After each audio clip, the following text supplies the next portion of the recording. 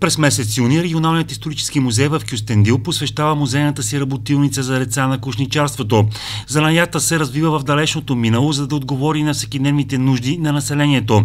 Затова е широко разпространен, разказва Мирослава Таскова, ръководител на музейната работилница. Като занаят той се обособява преди 150 години, през възраждането определено но всъщност като дейност ни връща още назад в праисторическата епоха. Защото кушничарството е тясно свързано с земеделието, а знаем, че така първите земеделци са се се, така, земеделието се развива и, първите, и всъщност първите земеделци са през новокамената епоха, което е 7 хилядолетие преди Христа. За развитието на земеделието по нашите земи говорят откритите археологически находки, като част от Рао, Сърпотрок на Елен а, и най-вероятно тогава започва да се правят и кошници. Юнската музейна работилница предлага изработване на кошници с прежда и канап върху основа от картон и върбови клонки. Темата е посветена на празникът на черешата в Кюстендил. В нашата работилница ние използваме върбови клонки, за да демонстрираме този стар занаят. А, изработваме кошници, основата ни е от картон – и с помощта на върбовите клонки а, плетем тези кошници.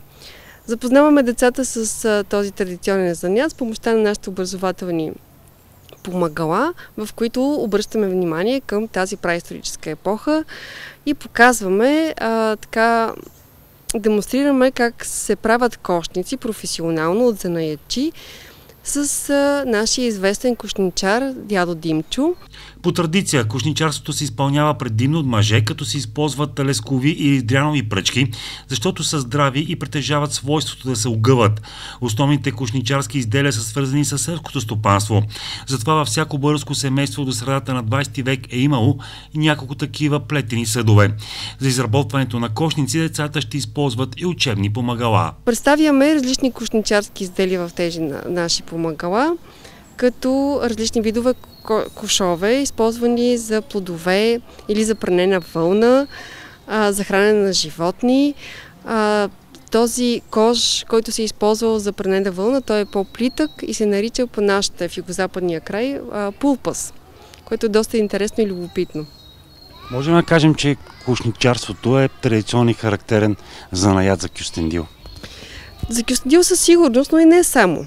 Тъй като това е една дейност, която, както казах вече, обслужва и земеделието, и земеделие имаме на много места.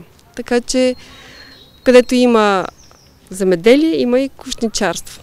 Заниманията се провеждат в двора на регионалният исторически музей в Кюстендил на 19, 20 и 21 юни от 14 до 18 часа.